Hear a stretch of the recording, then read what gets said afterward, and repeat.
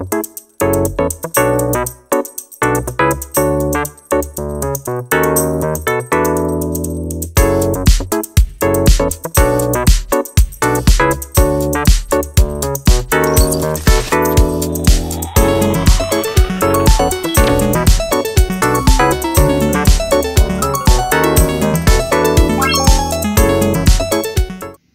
दोस्तों खाली टाइम में आपका स्वागत है। और आज का जो बड़ा सवाल है वो ये है मोटो जी सेवेंटी टू का एक यूज़र एक्सपीरियंस मैं आपको देना चाहता हूँ। इसकी अनबॉक्सिंग क्योंकि पहले भी हो चुकी है, ऐसा आपको बॉक्स मिलता है और इसके बॉक्स पे तो रेट बहुत ज़्यादा लिखा है बट मुझे हासिल हुआ है चौदह हज़ार दो सौ अट्ठानवे रुपये में, पंद्रह हज़ार रुपये में आप इसको बिना किसी क्रेडिट कार्ड के ले सकते हैं। पर अगर आप क्रेडिट कार्ड का फ़ायदा उठाना चाहते हैं तो आपको साढ़े सात सौ रुपये या साढ़े तीन सौ रुपये या कई बार पंद्रह सौ रुपये तक का भी डिस्काउंट मिल जाता है।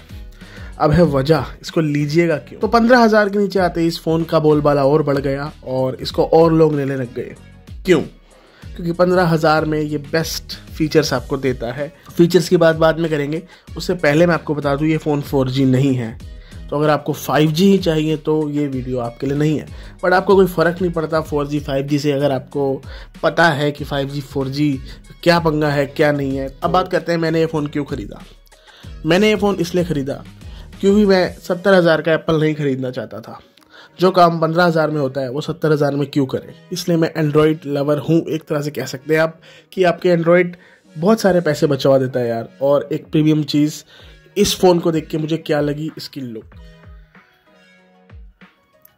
सबसे पहले तो मुझे इसके कैमरे का जो कॉन्सेप्ट था वो काफ़ी पसंद आया। थ्री डॉट्स वाला, जैसे सैमसंग ए फिफ्टी में है और मोटो के जी थर्टी वन या और भी प्रोडक्ट्स में है, उससे कुछ अलग और कलर मुझे ऑनलाइन इतना अच्छा नहीं लग रहा था बट जब ये मेरे घर आया तो मुझे काफ़ी पसंद आया। इसके ऊपर जो केस प्लास्टिक का चढ़ा हुआ है, वो भी कंपनी फिटेड आया था।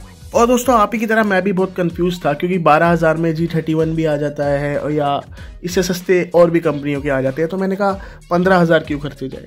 क्यों खर्चे जाए? सबसे पहले तो मैं आपको बता दिया लुक में ये उन सबसे बेटर है। इसमें है एक फिंगरप्रिंट जो कि ऑन स्क्रीन है। और बहुत फास्ट चलता है। इंटरफेस इसका नियर गूगल स्टॉक एंड्रॉयड वाला है। थोड़ा सा मैं एंड्रॉयड ट्वेल्व से परेशान हूँ। एंड्रॉयड ट्वेल्व पे चलता है। थर्टीन की अपडेट ही आपको देगा। परेशान इसलिए हूँ कि और बेटर हो सकता था। ये थोड़ा बहुत मुझे लूमिया की याद दिलाता है। माइक्रोसॉफ्ट की साठ घाट तो नहीं हो गई है गूगल वालों से। खैर, ऐसा तो नहीं है। ऑफिशियली कुछ। और मॉडरेट और सिंपल यूज़र इसको बहुत प्यार से यूज़ कर सकता है, बहुत आराम से यूज़ कर सकता है। बहुत अच्छे अच्छे इसमें कस्टमाइजेशन है। हर एक चीज़ का रंग, ढंग सब कुछ आप इसमें बदल सकते हैं। और इस चीज़ से बिल्कुल मॉडर्न फ़ोन बन जाता है। सो लुक वाइज और इसकी कस्टमाइजेशन के लिए और इसका इंटरफेस के लिए इसको मैंने पास कर दिया। दूसरी बात, मैंने मोटो ही क्यों खरीदा? अब बात करते हैं जो इसके पीछे भाई साहब हैं। ये मोटो जी सेवेंटी टू है और ये है मोटो जी फाइव प्लस जो कि 2017 का प्रोडक्ट है। आज तक बिल्कुल ठीक चल रहा है। ये भी एक आपको गूगल स्टॉक एंड्रॉयड का ही इंटरफेस देता है near stock Android not total और ये आज तक बिल्कुल ठीक चल रहा है। इसके कैमरे कैमरे से भी लोग बहुत खुश नहीं थे। जैसे इसके कैमरे से भी लोग बहुत खुश नहीं है। बट स्टिल मैं कोई प्रोफेशनल फोटोग्राफर नहीं हूँ, उसके बावजूद मैं बहुत अच्छी तस्वीरें ले लेता हूँ। और क्योंकि मैं मोटो यूज़र रह चुका हूँ तो मुझे उसकी ठोसपन ने, इसकी ड्यूरेबिलिटी ने बहुत बहुत इंप्रेस किया था। इसलिए मोटो का मैं पक्का फ़ैन बन गया। आज तक इस फ़ोन ने मेरा पाँच सौ रुपये का खर्चा कराया, वो भी इसका जैक बदला था।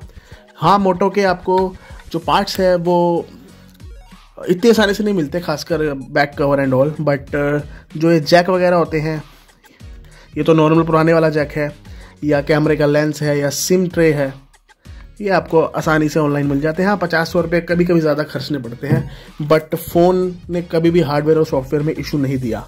कैमरे से मैंने पहले ही बताया, इसके कैमरे से भी लोग खुश नहीं थे, और इसके कैमरे से भी लोग खुश नहीं हैं। अब इसको देते हैं आराम। तो अगर आप एक अच्छे फोटोग्राफर हैं, आप एक अच्छी खासी फ़ोटो इसमें ले सकते हैं। ये कुछ तस्वीरें हैं जो मैं आपके साथ शेयर करता हूँ, जो मैंने इसी फ़ोन से ली है।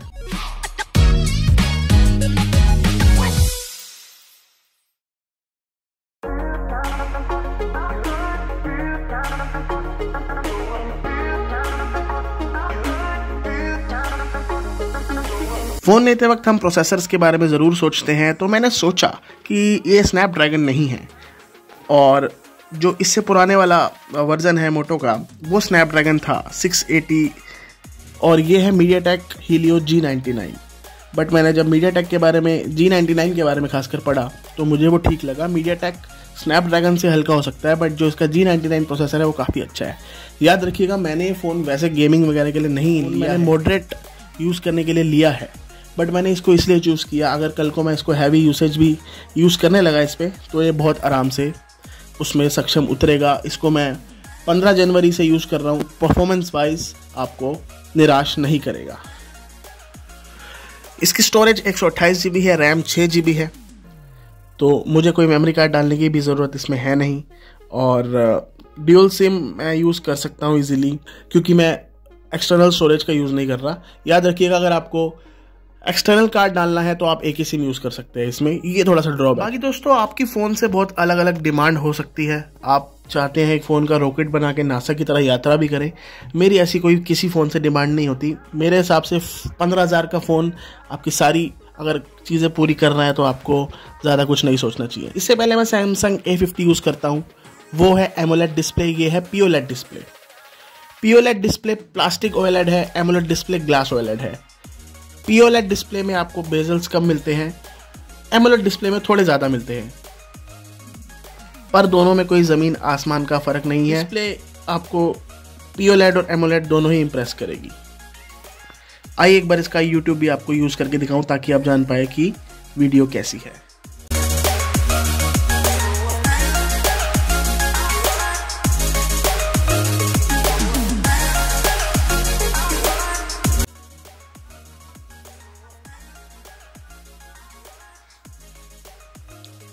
पता नहीं किस सिंगर का गाना चल गया है बट कोई नहीं चलने देते हैं उसको। स्पीकर का भी अंदाज़ा लगा लीजिए।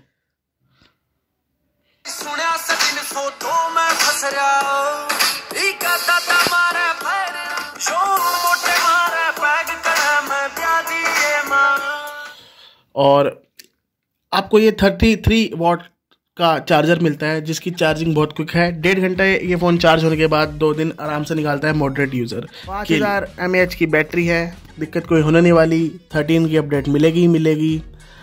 एंड्रॉयड है तो कोई भी थर्ड पार्टी ऐप भी आप इसमें आराम से यूज़ कर सकते हैं। कैमरे के लिए इतना सा कॉम्प्रोमाइज़ आप कर सकते हैं और अगर 5G के साथ कॉम्प्रोमाइज़ कर सकते हैं तो पंद्रह हज़ार में ये बहुत बढ़िया फ़ोन है। एज अ यूज़र मैं आपको बता रहा हूँ लुक वाइज और हर चीज़ इसकी बहुत अच्छी है बाकी मॉडल्स से। अपने रेट को बिल्कुल जस्टिफाई करता है।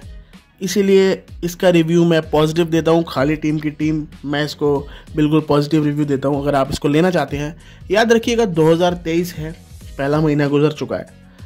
अगर तो सोच रहे हैं कोई नई चीज़ आएगी तो वेट भी कर सकते हैं। बाकी मोटरोला अभी कोई बड़ा मॉडल तो नहीं निकाल रहा। काफ़ी नई चीज़ आ रही है। बट अभी भी इसका मुकाबले की कोई भी चीज़ अनाउंस तो नहीं हुई है।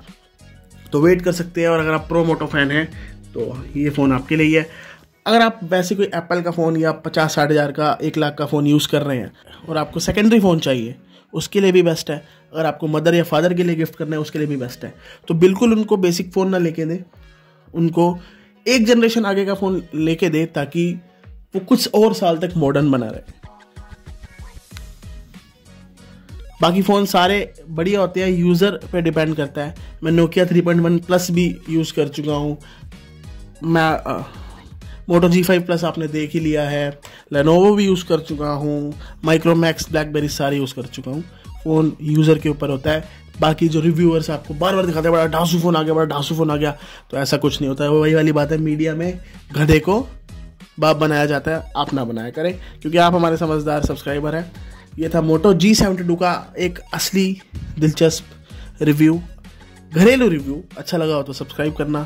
थैंक यू फॉर वॉचिंग खाली टाइम जाते जाते दिखा दूँ, ये है हमारे चैनल का लोगो चार सौ तिरपन सब्सक्राइबर है तो मैं आपसे आशा करता हूँ, जल्दी से आप इसको और लाइक करेंगे और हमें थोड़ा और प्रेरित करेंगे ताकि हम और अच्छी अच्छी वीडियो बनाएँ। प्लीज़ सब्सक्राइब कीजिएगा। खाली टाइम कोई भी सवाल हो तो आप कमेंट में डाल सकते हैं। क्योंकि हम मिस कॉल आई हुई है तो यहाँ पे एक नोटिफिकेशन लाइट भी चल रही है।